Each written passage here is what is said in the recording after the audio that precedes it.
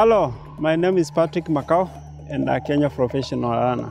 And I would like to talk about you, hardworking person, business owner, or a student, and a runner.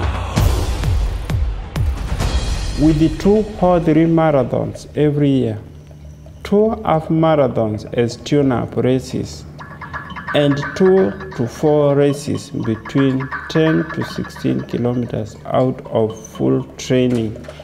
You will have more than enough opportunities to race, travel, compete, and have fun while still respecting your body and working on your racing game and making races something body and mind and desire not something they get used to on weekly basis.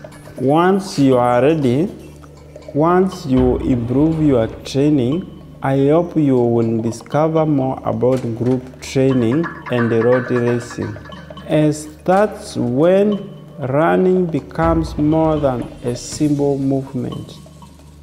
And while racing, that's when you learn the most about yourself, and that's when they find joy of health and ability. Don't over race. Choose your races carefully. Enjoy running and run responsibly.